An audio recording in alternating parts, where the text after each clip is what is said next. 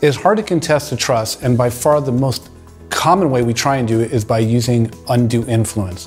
Undue influence is simply where someone acts kind of almost like your caretaker and you become dependent on that person. And then when they suggest things like changing your will, cutting out the rest of your relatives and giving it all to me, and then they go say, How do I do that? And they take you to an attorney that they find, and then they receive all the money.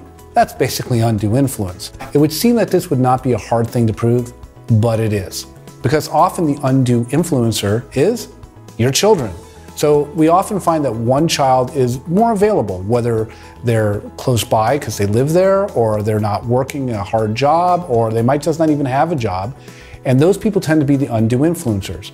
But they're also children. So a lot of them say, hey, I'm just taking care of my mom or my dad. I'm taking the doctor. I'm helping with their bills.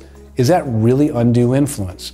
So then it looks like a contest between that undue influencer and other children who might be responsible, hardworking people, but they're in a different state. They don't stop by. They show up on Christmas and that's it. So undue influence is a very difficult way to contest a trust, but it's the most common way because it's the easiest way for the courts to actually uh, have a factual dispute that they can actually do something about. Mental capacity is a much harder way to prove these things. So when you're contesting a trust, we often focus on undue influence. And there's often a lot of witnesses, there's a lot of facts when you're contesting a trust through undue influence. It's not as medically record driven. Uh, we do sometimes find people have some dementia and things of that nature that make them more susceptible to undue influence. But when contesting a trust, undue influence is probably the most common way that we do it.